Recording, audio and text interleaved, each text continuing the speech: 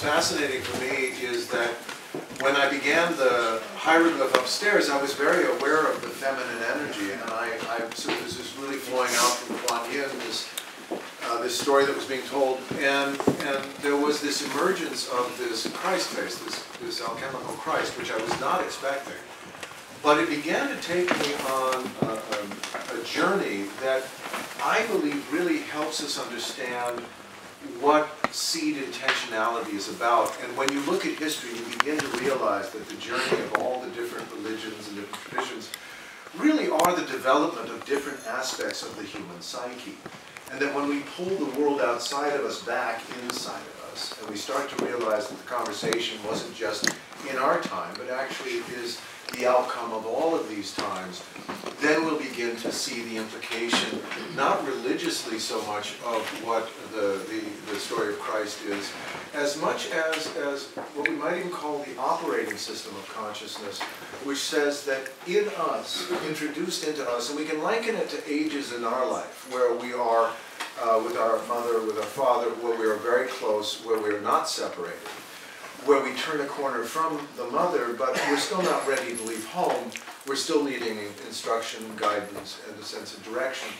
And then there comes a time, of course, where we, we leave, and no matter how difficult it is, we have to find our way. And when we look at the human psyche, we begin to realize that you could almost age it, meaning that there are different individuals that carry these different periods of the life. You know, so for some individuals, the idea that you would turn away from a type of parental guidance is not acceptable to them. And the point of the round table, the point of the archetypes, what I'm learning is that we have to begin to train ourselves not to judge that as right or wrong and begin to understand from the theater, theater point of view that actually it's saying that who we are as human is so vast and so remarkable and that the ages of who and what we are are manifest outside of ourselves not saying you must be this or you must be that. In a great way like the Tibetan Book of the Dead does. It says it's about find your relationship to the light. If it is too bright, then turn and look another direction. It's not in judgment, oh, you can't take the light. It's saying, no, like an actor, you took on willingly different qualities of consciousness in order to participate in this conversation and play of what does it mean to be human. And oftentimes, if we think from that perspective, then it's not really the bad guys or the good guys or them, but we start to appreciate the fact that the theater is always present and that in our lives it is always asking us, since you can't create a world by reacting to it or being against it, then maybe you can take the pigments of the world and begin to tell a story that includes all of the ages of who and what we are. And when we do this, I really feel by nature it's like I say about a flower. I believe in the time of the blossoming, we begin to understand that you do not destroy the infrastructure of a flower. A flower blossoms from within its previous condition, meaning the bud was about keeping it in, not letting it out. And when we look at our journey, you'd say that we came through the age of the bud. Keep that imagination in you. Don't let what is in you out because you are getting somewhere. You're growing, you're being tough, you're weathering the storm. But then a season passes in the age of a flower, and it begins to say, I'm not getting anywhere. And this constriction keeping it inside of me isn't working anymore. There's something there, and if I don't let it out, I feel like I'm going to rot on the vine. And I feel that's where we're at. There's something in us that is saying, I, I don't know what it is, but I have to, I have to let it open. And this is why story, permission, tenderness is very important. We've brutalized ourselves up to this point because that's in a sense how we've prided ourselves, by taking a good beating. But we're finally saying, I think the shape has been beaten. I think the, the, the alchemy of creating the form, hardening the form is done. I don't need to harden anymore. I actually need to know that this hardness of mine, maybe, allows me to remain focused in this reality and share the context we all share. But then in the softness within me, I can finally sense if I'm tender with my story, maybe my story will not be so afraid of me. Maybe in all of my toughness, I've terrorized this inner gentle spirit. He says, I don't know why you're so angry, but every time I'm around you, you terrify me. You're so good at being brutal. Why? And this is why I really feel tonight it's really about questioning in ourselves and sitting in forgiveness, like we did with the ancestors, and understanding that it's not our wiring. We have psychology we think is personal. We do not have personal psychology. We have human psychology we experience personally. We each are composed of the operating system. We have this key, these two eyes that have now stabilized a new right angle. And this is the solstice, meaning that we've journeyed in a way from the eyes. And you could say the journey inward, this retreating from the world, I don't like what I'm looking at, has forced us to move into the, in a sense, the darkness that mm-hmm. finally says, now that you're in the darkness, the only way is to stand erect. And this is the solstice, meaning we finally stand holding a sense of wonder and yet an accurate understanding of shared reality. That means that no matter how daring we are imaginatively now, we will not be swept into, into insanity. And we do not need to take those things that take us away from our condition, but we need to think more about how do we gather and give residence to those conditions. And that's why I wanted to just briefly so show some of the, the journey of the seed and to talk just a little bit about planting a seed intention because tonight our journey was about planting a seed. And in the tarot, the first, uh, the archetype of the magus, often thought of as the magician, but that to me sounded too much like prestidigitation and sleight of hand. The magus is saying that everything you plant in your mind will grow. Your brain is a womb. And therefore, if you plant toxic ideas, the toxic ideas will grow. So attend your seed. And this is why tonight I was saying those two seeds, the wish for yourself and the wish for the species, is what the Magus says, because he says, as above, so below. And you see, you are taking your shaft now and you are driving it into this story that we are birthing now. The qualities and conditions that can hold in time the true story of the human form divine. And this is when we have this alchemy that shows us deeply that now is a seed time. We must plant the seeds of intentionality. And the next slide, which is another seed, is the seed of Eve. In, and this is called the, the delicious knowledge of Eve, forbidden fruit. But we're going to see between these two qualities of black and white and the color of masculine, the knowledge of form and the dynamic of principle, and then the knowledge of the feminine. She says, I remind you that you have forgotten because you've been dealing in black and white with your story. But I remind you now that your deeper story is life, that your first principle is feminine. Your first principle is that which says, I love all of my being. I love all of my children. And therefore, not simply like Vitruvian man, where we're measuring all things, she says, I'm embracing the truth that all is energy. There are no evil atoms. If you don't like the stories you're telling, tell better stories. Begin with the story you're telling yourself about who you think you are. I am the mother. I love all of my children. Think of your atomic body. And it says we don't reject certain atoms of our body. We include them. And this is her story. She's saying, when you understand the knowledge of matter, mater, mother, when you understand that you take the journey of black and white through form, like building a piano, you're building keys that allow you to differentiate, like the library. That's not that story, that's that story. But together, it's an instrument, it's a vehicle. And then we can also know this story, which is saying that the life principle is the principle of generosity. And that the really this story of the deeper masculine within us is the story of desire. And we're woven of generosity and desire. And these are the seeds that we've been planting. And these were for my Codex Tour illuminated books because I didn't want to really go into them symbolically. I just wanted us to feel them because I very much sense that that in the same way when we feel inspired, it's not something, or when we brainstorm, there's just an amplification and we get excited because we're, we're problem solving, things are coming to us you know, just seemingly out of nowhere the, we all know these energies, so it's not something alien or different that's happening. It's, again, like the flower, it's beginning to stress different values from the ones of holding on and compressing and contraction. And this is why in my journey through the codexes over 24 years, is I realized a lot of questions I couldn't ask with words. I couldn't figure out and get a schematic and say, oh, here, read this book. This is what you need to know. And this is what I love about the visual. It says, this is your story. Where this takes you, see what comes to you. Because the planting of the seed, the planting of the idea, will go through all different permutations and, and, and of course, environments and territories. And for me, this was using my brush and my pen as a tool of creation, to explore the nature of creation. And this really began to teach me that when we understand that we are the tools of creation and that our imagination will open worlds we can't know unless we enter them imaginatively. We won't find much of the truth of our ancientness in clay pots. It's just not a history that will be tangible on that level.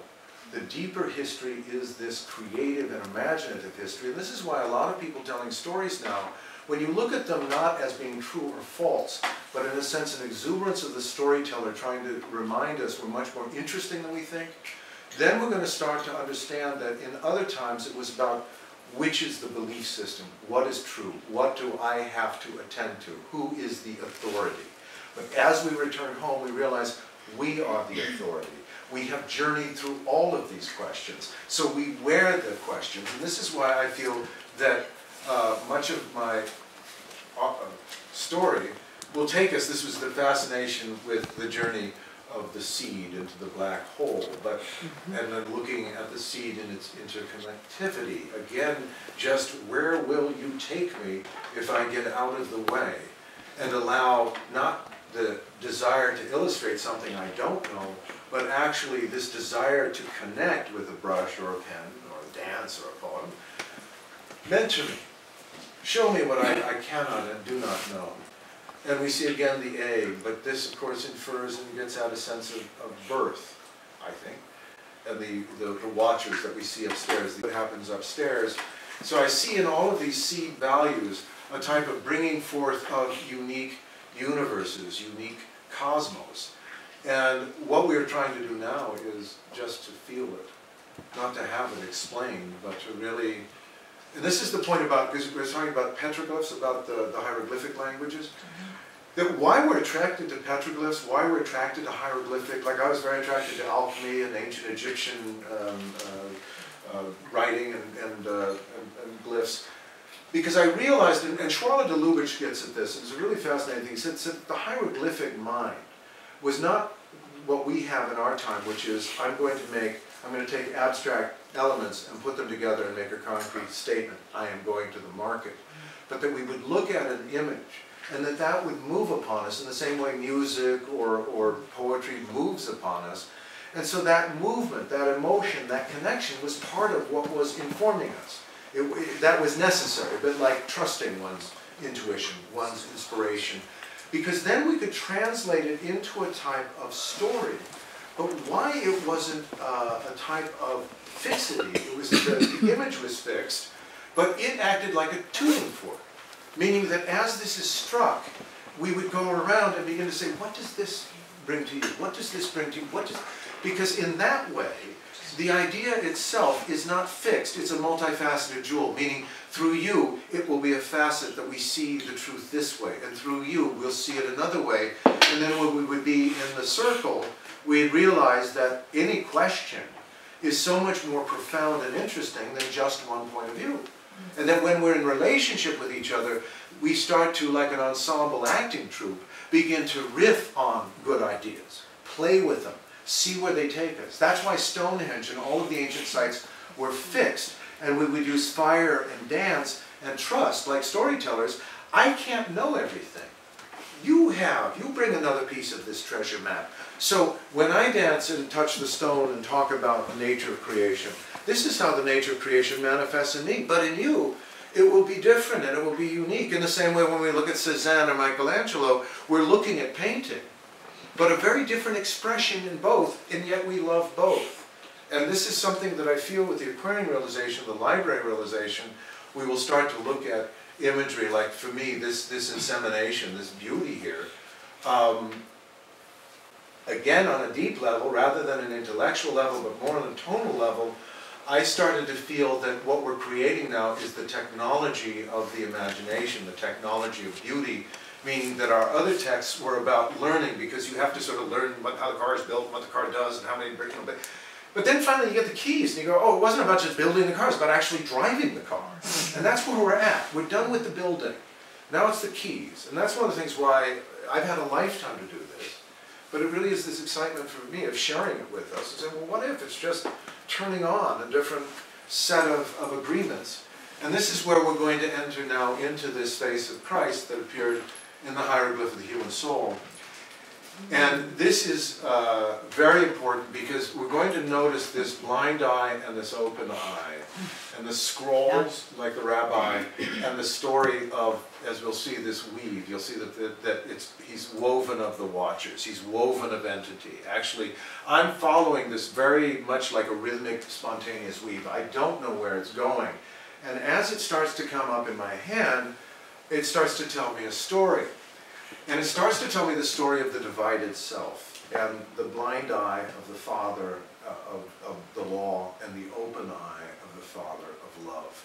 And that we are born, and this is of course, has to do with the winter seed, the winter solstice. We think of Christmas, the celebration of, of Christ's birth, which was put there. It wasn't when he was born, it was actually about this relationship to mid uh, to winter and the planting of a seed, because the seed that was planted, and this is the mythic and archetypal element here, is that we journeyed from the story of the open eye of love, and we would turn a corner into the blind eye of the law. And in the blind eye of the law, we see the scrolls, essentially meaning that we will begin to understand ourselves with the stern father, meaning, kid, it's not personal, it's the law this is what's expected of you. But there's an enormous metaphor here because my work on the Tarot, which is down here in this studio, I designed this room for my father. So this becomes the sunroom, designed by the, by the son for the father, where we see the archetypes in black and white. Mm -hmm. Metaphorically, symbolically, that's really important because that's the blind eye. And when we look at the symbolical significance of the house as related to the psyche, meaning that there's a footprint here, it's saying where we gathered, where we came into, was the room of shared principle, shared laws, essentially the black and white, the agreement field. When we ascend, we ascend up the stairs, we pass the domestic plane, we'll turn a corner and ascend into the living library. We will go from black and white into color. This is important as well structurally because it's saying that now that we've come home, we've understood that to be human insists upon our learning many different languages. There's the language of the kitchen, the language of the bedroom, the language of the children's room, there's the language of the living room. The, and, and why this is, is important is that, that it's saying that we couldn't ascend until it was connected to where we lived. Because every time we would come down from the living library, it would say, take this color, take this imaginative possibility, and realize you're still going to have to go out through the domestic plane. In other words, how do we get along? How do we live together? Or you're going to have to come through this community room, which says when we leave that this door, and this is why in The Wizard of Oz, Dorothy doesn't, doesn't end up in color. She goes to Oz, she goes upstairs. She's vivified by a sense of, wow, there's something remarkable here. But she, what, misses home. She doesn't want to stay there. She actually wants to find her way back to seemingly the world of black and white. But she comes back to the world of black and white, and guess what? It's no longer just the person she was looking at, but she sees in him another character, and so much more. You see, we start to see behind the black and white a dream that might hold the color that we can't see, but we can sense it. And that's really why we start to honor this sense of this journey, this alchemical journey that is revealed on the floor as well. Because we will start to see a relationship to the right angle. But we're going to notice with the blind eye, the open eye, the scrolls, the beard, that when we turn over this way, we start to see the seed and this alchemical alembic, meaning this type of living chalice or vase, because the seed is going to be planted in the time of I think, therefore I am. Think, we think we are not each other. We think we are separate. But this proves a very important point, which is that the waters of infinite generation, meaning whatever we think about on an energetic level becomes our truth. That's the great gift of consciousness.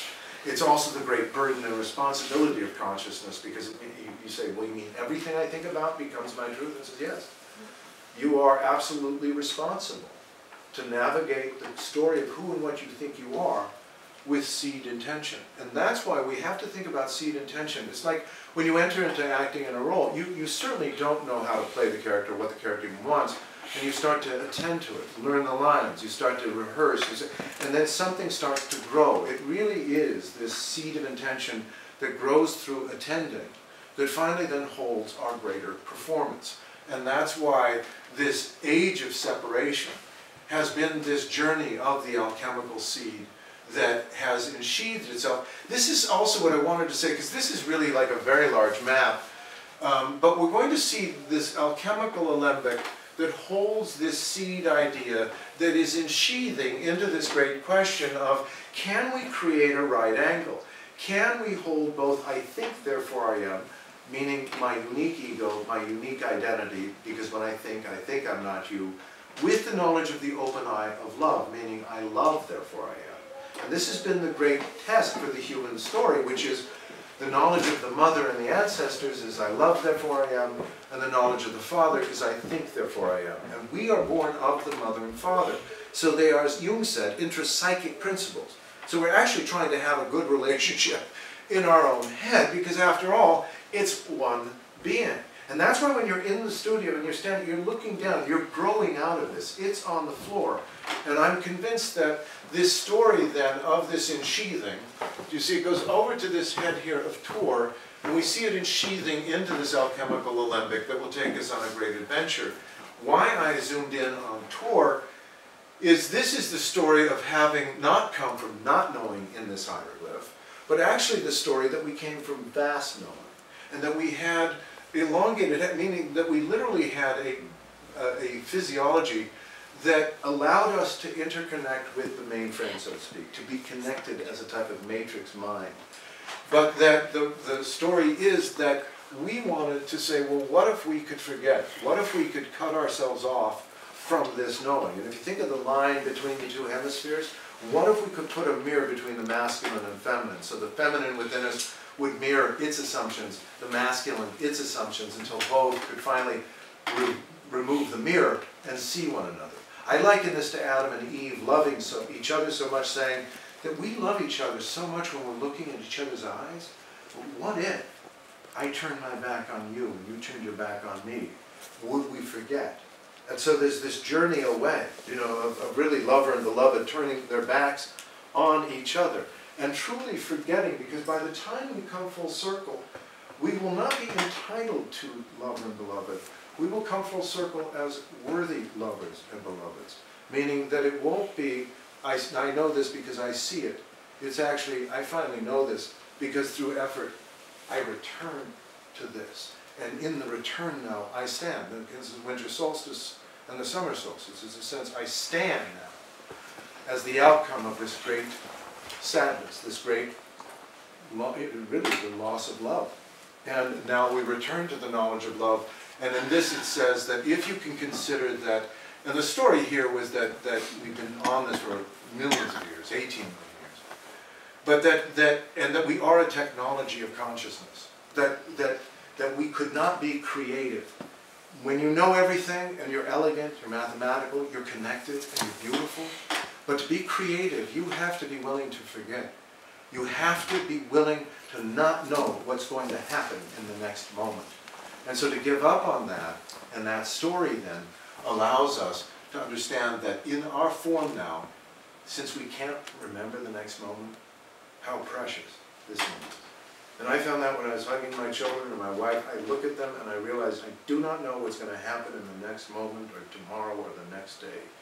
It makes this moment so precious, like a divine nectar.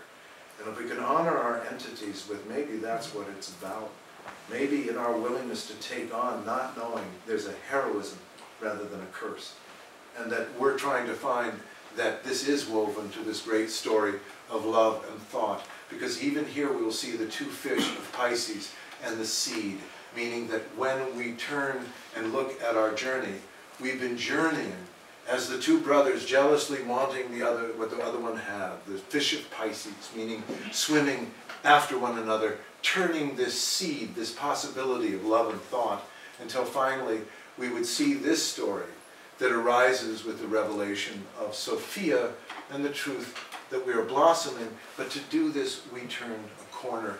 And that's why the story here in front of her belly of the infant, the child, she tells us in this myth, she says, the knowledge of Sophia, Philosophia, the love of wisdom, is the truth that as human you do not remember who you are. We humans are as children. We cannot remember. But in this story, because it's loving, it says there's a purpose for that. And that the reason you don't remember is you wanted to uniquely bring forth and the, the qualities of this gift of the waters of infinite generation, to really know what the mind can do. And to do that, you have to be willing to enter into it without knowing beforehand what you're asking. That's why we all get into projects where you go, I thought it was going to be two weeks, and it was two years. and I think for us, we thought it'd be about 18 weeks, and it's turned out to be millions of years. But I want to show this, this, this serpent, because this, this connection, this of course Sophia, we see her belly, and here above her, this story of birth, this is the story of, again, the serpent, because the question was, well, what is the serpent? Why was that? And what this came to me was really interesting with my daughter, who was asking about the nature of evil as a kid, you know, but she was still a young young woman. And it came to me that the serpent was actually, it became everything we, be, when we turned our back on love, when we turned away from our energetic connection with the ancestors, with Pachamama, with the earth, we became afraid of those energies. And so what was once the knowledge, because you'll see how we have the serpent's face this way, but we turn it and we see it's actually the mother and the infant, meaning that, that our own energies, which are nourishing, when we turned away from them, became serpentine, meaning we started to fear. And once you begin to fear, you begin to do what William Blake said, you begin to grow reptiles of the mind. And you begin to struggle against those reptiles that are based in fear. And the point here is that everything here is trying to say, again, like I said upstairs with the solstice, when we shift, do you see, because this is actually shifting one perspective, and then standing directly in alignment with it, then we're informed through our energies that in alignment you will realize that what you have been fearing are your own energies. And that the way you change your fear is not to imagine that it is some serpent you are fighting, but actually it is your umbilical connection to creation you have been struggling with. And if you trust that, then what was once terrifying will become nourishing. And this is really because we reclaim from fear these things. And that's why looking at this right angle, this turning of the corner toward the mirror of unique identity and self-awareness. But the story is that there's no further to go in any of the directions. So we can now stand and hold this story of the right angle. Meaning we can look down and see this alchemical Christ seed that said the gift here was a gift that was going to take thousands of years.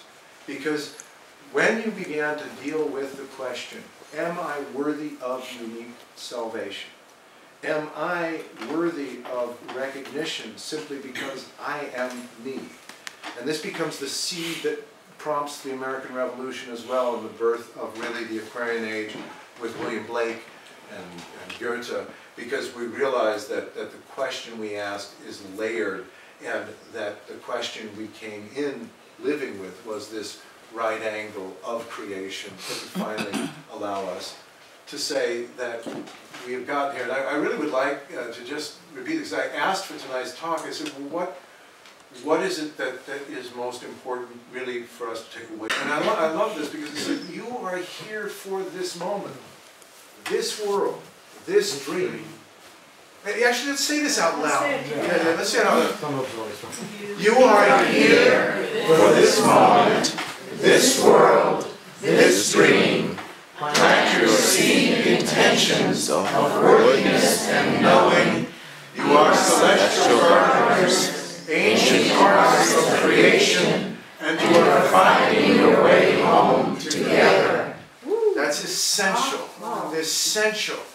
Say that as a mantra because what we're doing is, in a way, dissolving the Piscean agreement through affirming a different set of possibilities. So the last two slides I'd like to say out loud, and, and just again, um, to feel it, let it open, and then we will, we will uh, say yay and be done. Um, But, uh, or if there's questions, of course, I I promise I won't go on too long.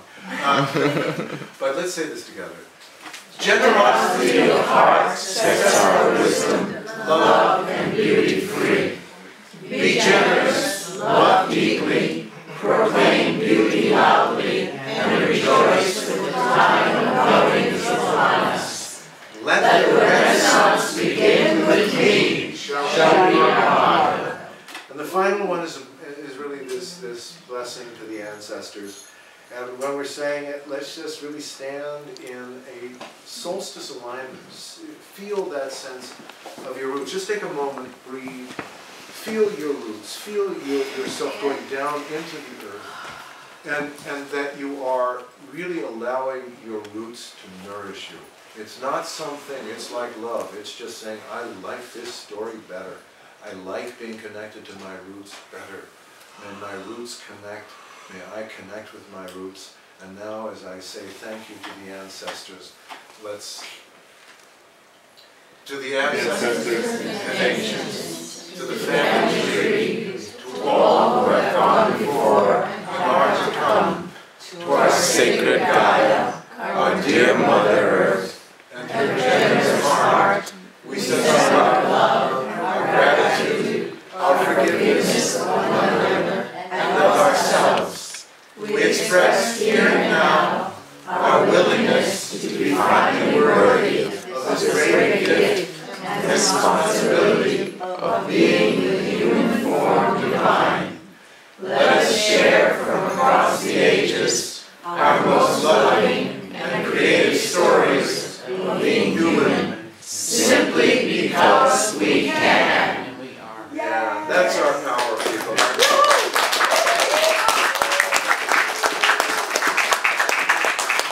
That's true.